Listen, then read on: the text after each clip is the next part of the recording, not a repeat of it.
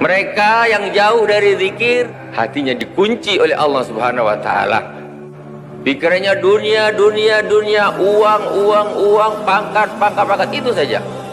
Sudah tidak lagi mau berzikir kepada Allah Subhanahu wa taala. Kalau kita berzikir baru satu menit, dua menit, lima menit rasanya sudah lama. Tetapi kalau kita mengobrol masalah urusan-urusan dunia berjam-jam pun kita tidak terasa.